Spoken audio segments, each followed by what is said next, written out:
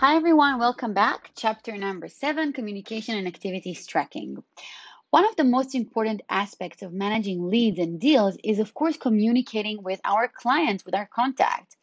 This chapter is going to be relevant for all the communication you will have with clients, potential, potential clients, and I'm going to demonstrate it from the deals board, but it's also relevant to the leads board. Inside each item, or in our case, each deal, you will find different tabs where we can find and add information. So let's go into my deals board and let's check it out. So as we said, let's say that we want to communicate with our client about, um, let's say that this deal. And our contact in this case is Madison. So if we um, open up this item card, as I said before, we have different um, tabs over here.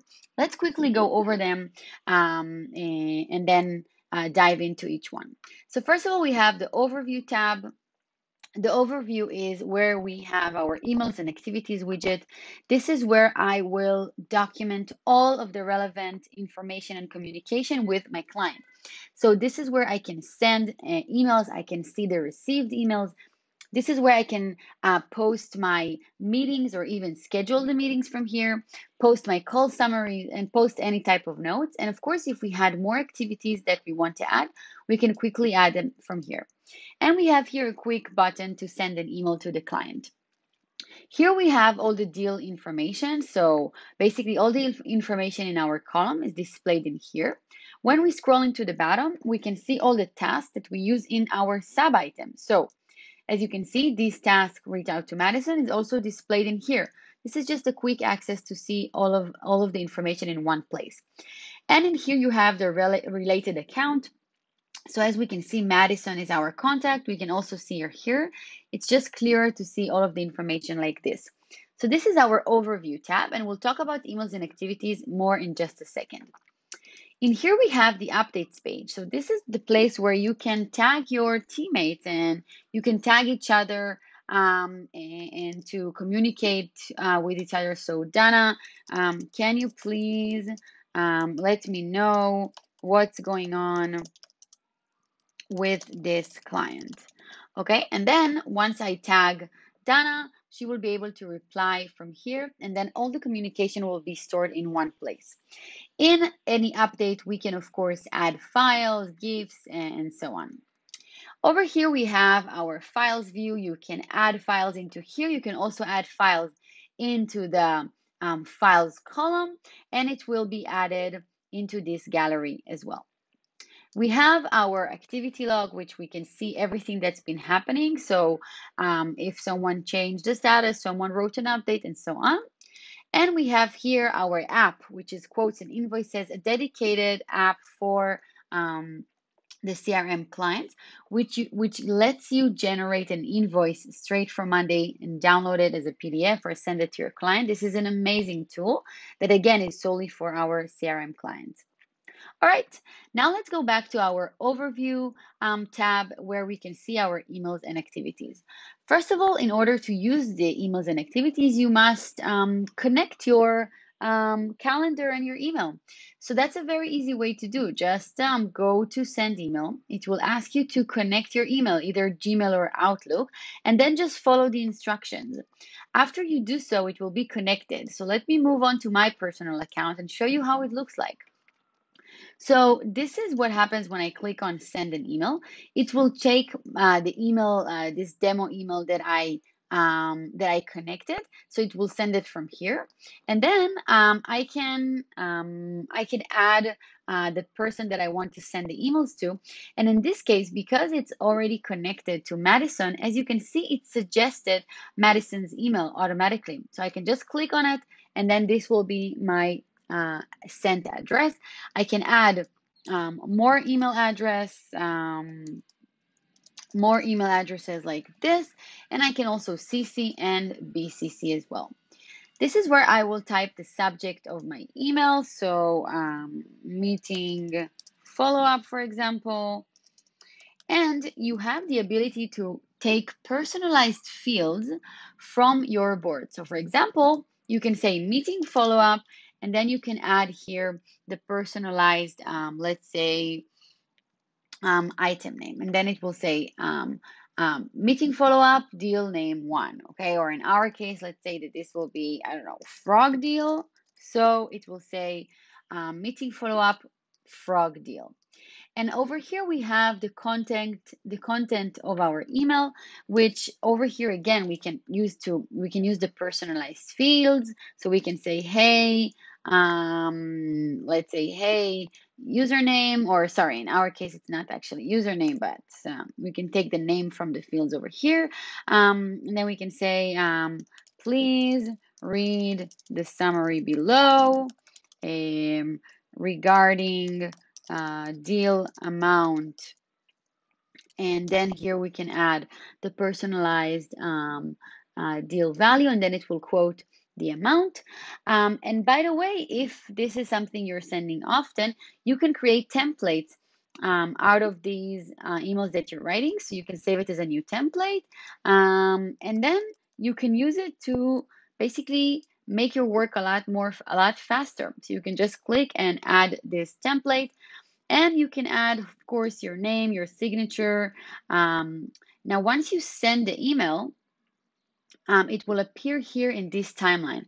So you will be able to see everything that happened previously, everything that is upcoming. Like, for example, what happens if you schedule a meeting? So you can schedule the meeting, you can choose um, the time that it will happen, and you can save it, and you can put here the, uh, uh, the description, so meeting follow up. Um, you add it, and then because um, this is happening in the future, as you can see, it will be here in the section of upcoming.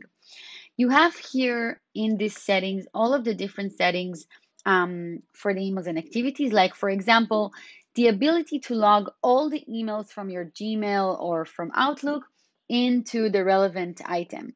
So, for example, all emails that you're sending or receiving from Madison are going to be logged inside here, even if you didn't write the email from the emails and activities tab. Meaning, if you if you wrote the email from Gmail and you sent it from Gmail, it will still be documented in here if you choose to. You have different automations um, that you can set up, like for example, when a new email is received, change status to something, notify someone, and so on. And this is where you put your email signature um, and so on. Um, other things that I want to show you quickly about the emails and activities is also the ability to add files. You can add files from your computer or from your files column if you have one. And you can also have email tracking. So you can see whether or not this email was opened, how many times it was opened. So this is a truly amazing tool um, for the CRM. And when you are utilizing the emails and activities widget, you're basically keeping everything in the same place and everything centralized. Now I want to show you the activities board. So every time you post any type of activity, so a meeting, a call summary, let's go with call summary, for example, and let's post um, everything that happened on our call. So I'm putting here the description. Um, uh, this is happening on December 12th, right, at 12 p.m. So I'm adding this call description. And now, as we said, every time we add a new activity, it will also be posted in my activities board. So when I go to the activities board, I can see here all of the different activities that happened um, with my uh, with my contact, with my client, no matter where you did it from. So even if you did it from the deals board, the leads board, the contacts board, everything you do from activities, from emails and activities widget is going to be documented in here. As you can see, I have here call summary for the frog deal. You can see the start time, December 12, 12 p.m. You can see the status and the activity type.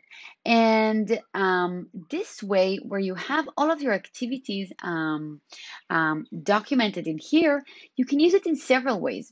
First of all, you can utilize a dashboard and you can see how many activities your reps are doing according to their types. You can do it on a monthly basis, um, like how many activities uh, were done in each month you can see the progress of whether how many open activities you have versus done. And again, feel free to add more widgets um, to customize it and see the insights that are interested uh, interesting to you to see.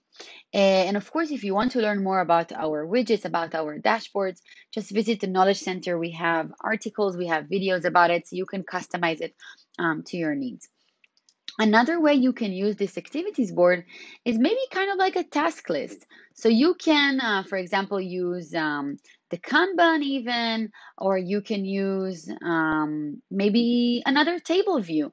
And this table can be filtered um, into the relevant person. So uh, filter dynamically to the user. And then this user can come into this table view. You can also rename it as my tasks, for example. You can also filter it to say, only show me what is happening um, in the future. So the end, the end, the end date is future dates. And then you will have a list of all the tasks that you need to do um, in the future.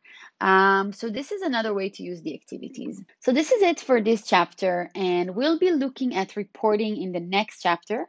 Um, we will be looking at uh, reporting in the activities board, um, insights about your deals, numbers, and so on.